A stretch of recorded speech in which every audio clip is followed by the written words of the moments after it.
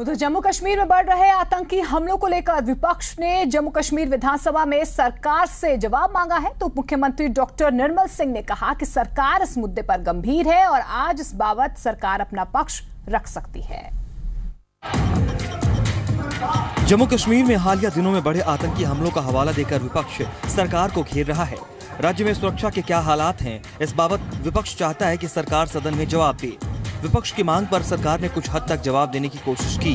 Deputy CM Nirmal Singh ने बताया कि विपक्ष की तरह ही सरकार भी इस मुद्दे पर गंभीर है और आवश्यक जानकारी दे दी गई है।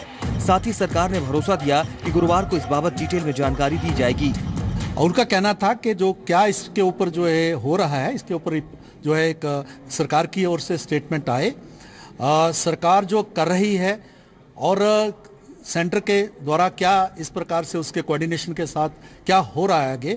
कुल मिला के जितना आवश्यक है, उतना जो है हाउस को अप्राइज किया जाए और हमने इसके लिए एडमिट किया है, कहा है हमने कि कल सरकार जो है इसके ऊपर स्टेटमेंट देगी। दूसरी तरफ़, विपक्ष का आरोप है कि सरकार जनता से किए वायदे पूरे करने में नाकाम रही है, जिसके चलते सूबे में ऐसे हालात पैदा हुए हैं।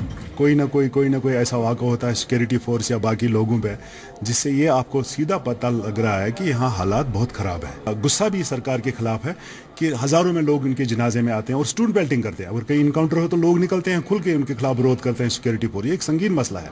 इसका कारण ये भी है कि सरकार ने जो वादे किए थे इलेक्शन से पहले लोगों के साथ, आज की जो सरकार है, उन्होंने लोगों को, नौजवानों को खासकर जैसे नौजवान ने सत्तर परसेंट उसमें टर्न आउट में, उसमें हिस्सा लिया seventy percent took part in election तो वो आपने उनके साथ एकदम उनके साथ धोखा किया और वो मेन स्ट्रीम से हट गए। कुछ हद तक तो हालात बिगड़ ही गए हैं ना।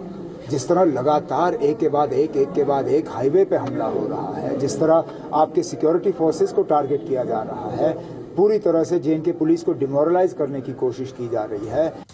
दरअसल पंपोर में आतंकी हमले के बाद दिल्ली में केंद्रीय गृह मंत्री राजनाथ सिंह ने हाई लेवल बैठक की थी जिसमें कुछ ज़रूरी दिशा निर्देश जारी किए गए थे। जम्मू कश्मीर से खालिद हुसैन जी मीडिया।